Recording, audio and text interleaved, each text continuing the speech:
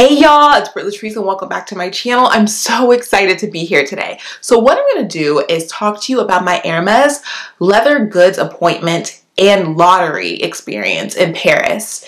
Guys, um, it was a doozy. So I am really excited to explain it to you and just kind of give you the walkthrough, you know, help you understand like what it is, how it works, my experience, and the outcome. So let's get started. Let me first start off by giving you some background. As you guys know, Hermes leather goods, especially Birkins and Kellys, are extremely hard to get. So when you do get them, they're usually based upon a relationship that you have built with an Hermes SA.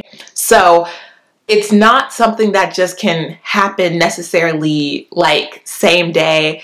It's definitely something that is kind of gradual and happens over time. The length of time from what I've heard based on my research varies. It just really depends.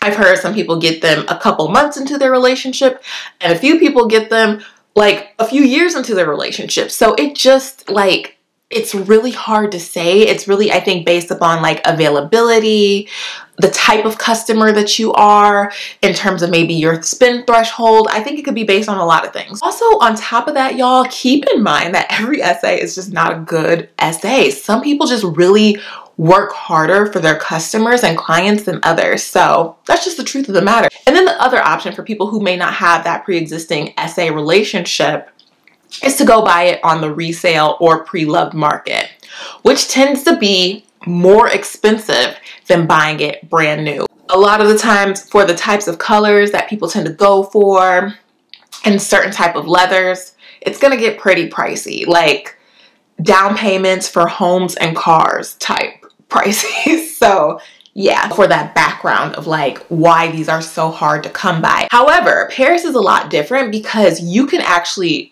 go there and enter a lottery system to get one. So you don't even have to have this pre-existing relationship with an SA. Paris is the only place you can go and actually ask an SA if you get this leather goods appointment on the spot if they have a Birkin, a Kelly, or whatever else you may be desiring.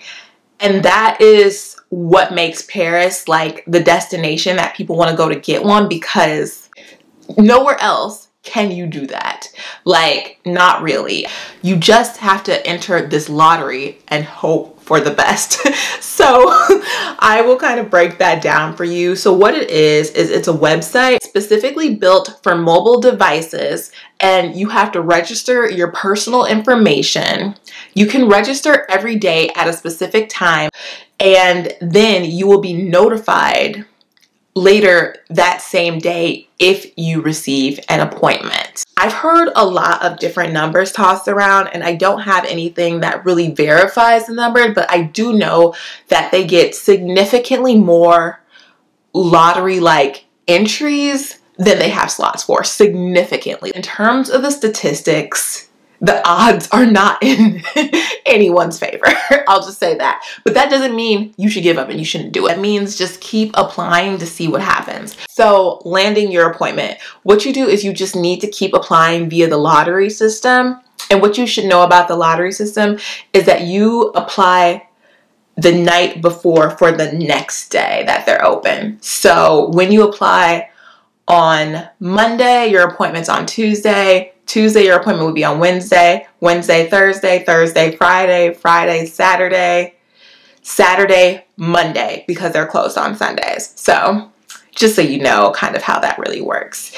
And so basically, I applied and on one of those days I did not get a reply yay or nay. So I ended up going to the flagship location and asking about it and they were like, oh, unfortunately, you did not get an appointment. We're so sorry that keeps happening. The demand is just so high and we don't have enough people to help us like fulfill the request in that way. And I'm like, woo, okay. So some people have said they're, they're able to kind of finagle an appointment listen, they were not trying to do that for your girl. and I don't beg. So, um, I called it a day. So on my last and final day, I got an appointment at the St. George location and I will pop up my confirmation text message that I got. I was like, but here's the thing. I got the appointment close to when I was leaving. So I actually had to push my train back just a little bit because I didn't want to miss my train trying to be shopping for this handbag. You know what I mean? So the appointment for me was in the early afternoon but they were like, you know, stay close to your phone because that could change. So at one point, the status changed and they were like, we're expecting you immediately. And I'm like, whoa. It's like 11.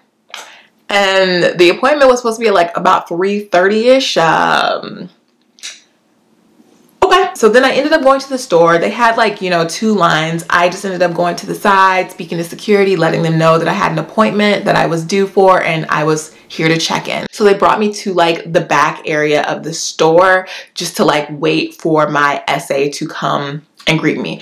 Y'all, when I tell y'all, it was such an interesting experience waiting there. Um, just to paint a picture, it was actually super cute. Some lady came in with like a wagon full of like her Pomeranian dogs. She had like three. Everybody was like taken by them. I saw one of the people who worked there taking photos and um, I was like, wow, it's a lot going on here right now. I see a Birkin being presented to another young lady. I see people, you know, checking out, buying stuff. It, it just was, there was a lot happening all at once around me. And so eventually the lady who took a picture of like this Pomeranian wagon, she like, you know, she greeted me and she spoke to me first. And um, I found out that she actually was a researcher that was going to be there watching my experience to make sure they can enhance the customer experience as much as possible and keep having strong ones for clients. So I was like, oh, so I was talking to her and connecting with her. And that was a little confusing because we just both liked the dogs a lot. They were cute. And so my SA ended up coming and she ended up started talking to me and she was really sweet as well. So what you do at this point, I think is very crucial. I was just trying to like talk to her a little bit, um, tell her about my trip, um, tell her how much I was enjoying Paris, my love for the brand, and then I ultimately told her what I was looking for. I told her that I was really looking for a mini Kelly in black or gold with gold hardware. So I didn't just go in like when they ask, what are you looking for? Like I didn't just like rattle them off like, Birkin Kelly, Birkin Kelly.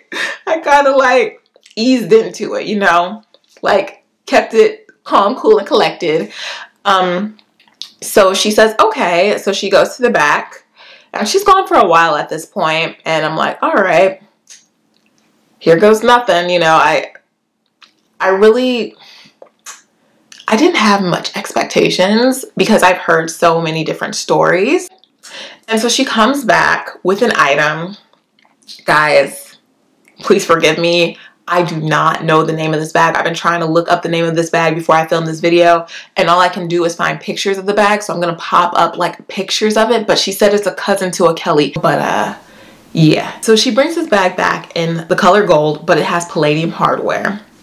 And so I gave it a look. She told me about it. She told me about its history and all that good stuff and kind of how it like has multi uses like it could be used apparently you could tie the straps to make it like a backpack and everything and I was just like okay. But I ultimately politely declined. Um, it just wasn't what I was looking for. And if you have your heart set on something specific like I know at this point in my life and just like luxury experience not to settle. And so I just told her thank you. I asked her if there was potentially anything else I could see.